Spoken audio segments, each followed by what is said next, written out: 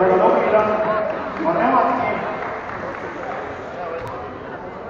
nii et kellel on siis rohkem huvi rullusitamise vastu, siis äkki Kristo saab proovida rulluisku näiteks.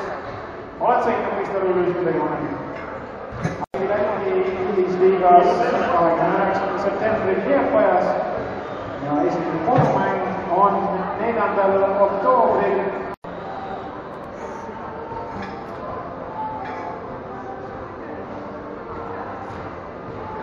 ja palju meeste isiklikud rekordid on.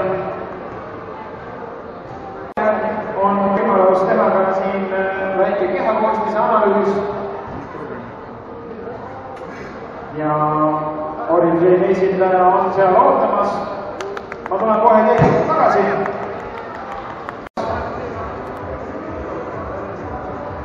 üheksakümmend kilo on juba, kuidas öeldakse, palgil jah üheksakümmend kilo on palgil, järgmine on sada kilo ja nüüd on siis Ilja isikliku rekordi kordamine.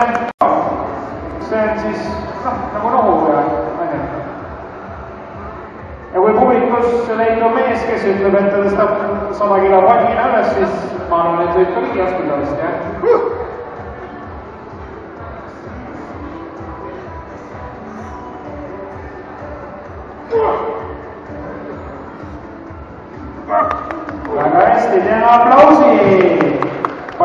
Palju peal oli, sada? suur töö seal selja ümber ei ole lihtsalt ilu pärast, vaid toestamiseks.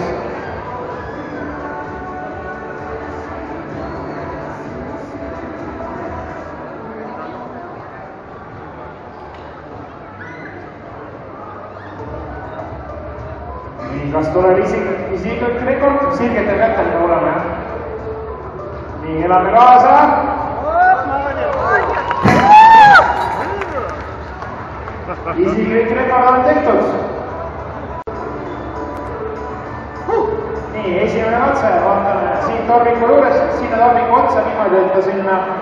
tähendab, niimoodi peab viskama, et ta ei ole siia.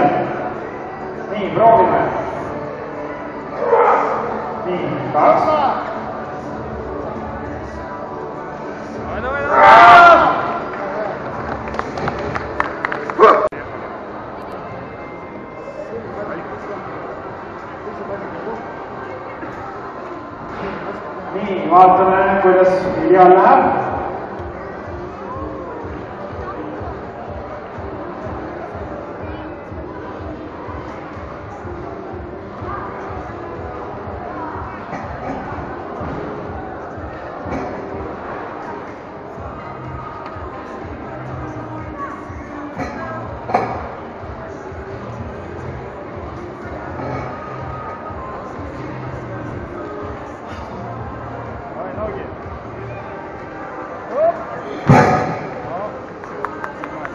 tundub, et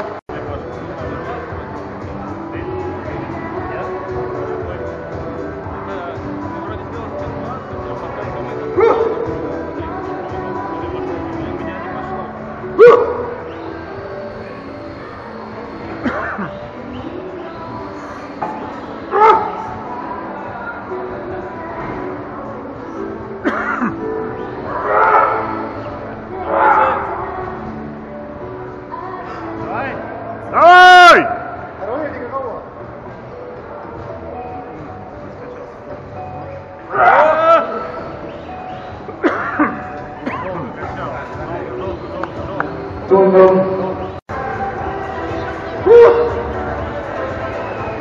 selle menetlusel ilmutas kangi ära, et kang kergemaks. ja peal oli sada seitseteist kilo, mis on ka selle isiklik rekord kõikide eelduste kohaselt.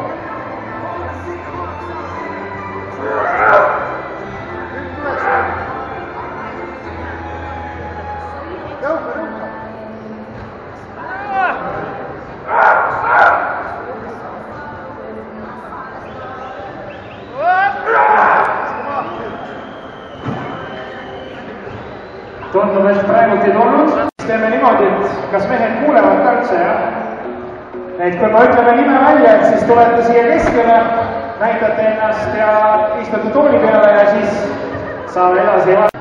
Rakvere rahvale, et Rakvere esimesed võistkond on sellel tasemel tagasi, kus meil kogu aeg pidama olnud ja tähtis on see hooaeg kui liigasse püsima jäämine õnnestub, kas äh, Mihkel leiab ka ennast järgmine aasta Rakvere Tarva ridadest? mis sa küsisid? kui nagu püsima jääte, aastane noormees Martin Laandu. teeme Martinile aplausi. Martin tuleb ka julgelt siia. Martin, ma tean sind sellest aasta ja niimoodi tore lõpetada, ma arvan, et suhteliselt kindel. milline on sinu suurim tugevus korvpalluri, korvpallurina? Ногами тоже хорошо. pikkus. pikkus. nii, vaatame siin enamus mehed on peaaegu sama pikad kui sina. noorteklassides olid sa peaaegu üle teistest onju. aga, aga mis veel, kas viip ise või platsi tegemine või vabavalik või?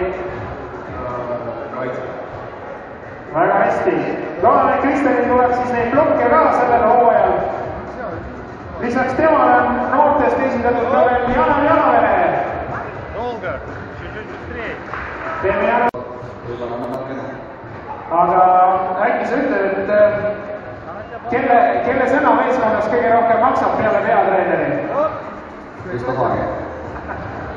nii, väga hästi, õige vastus, Kristo Kiitis. ja lisaks on ka veel noortest veel Arno Johannes Libosaar, teeme aplausi. saate ka võõrsile.